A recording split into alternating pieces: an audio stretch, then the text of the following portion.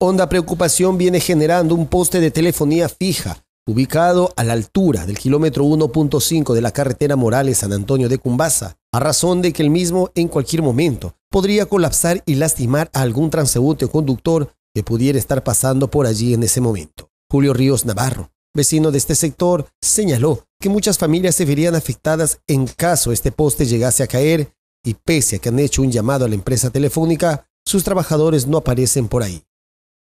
No viene, a ver, total nos están engañando. Ya se va a caer más de echada ya. Cada vez se va inclinando, cada vez que llueve. Todas las veces que está inclinado, que llueve, está inclinando más el poste. Queremos pues que le cambien ya de posición para ver pues antes que pase algo pues.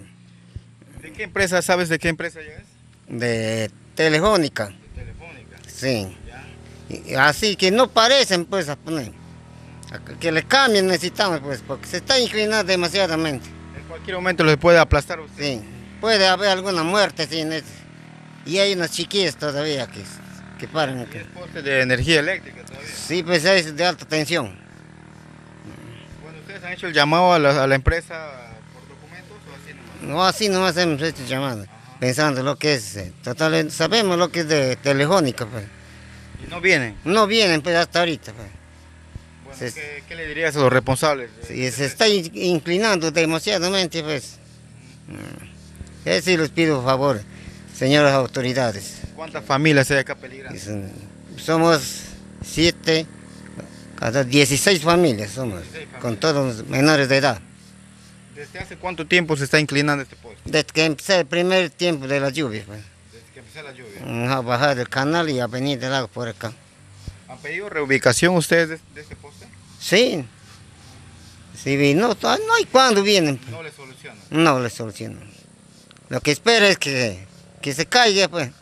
Ahí recién se van a dar cuenta. Por su parte, Amalia Chamba, otra de las vecinas del lugar, señaló que el poste de telefonía lleva en ese estado ya dos meses y a los trabajadores de Telefónica poco nada les interesa esta situación.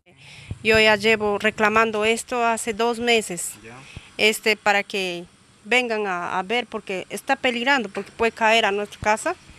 Yo sé que yo duro ya voy, el Electrooriente me ha dicho que no, no son los postes de ellos, sino es de la telefónica. Telefónica.